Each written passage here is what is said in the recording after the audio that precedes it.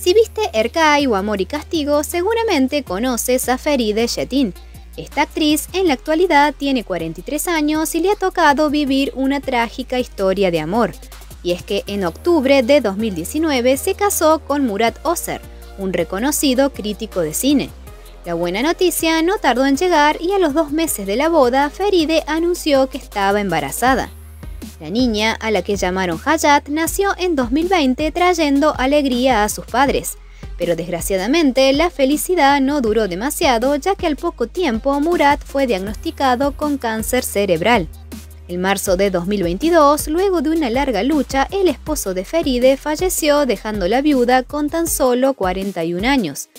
Desde ese momento, esta talentosa actriz se ha mantenido alejada de los medios cuidando exclusivamente de su pequeña hija.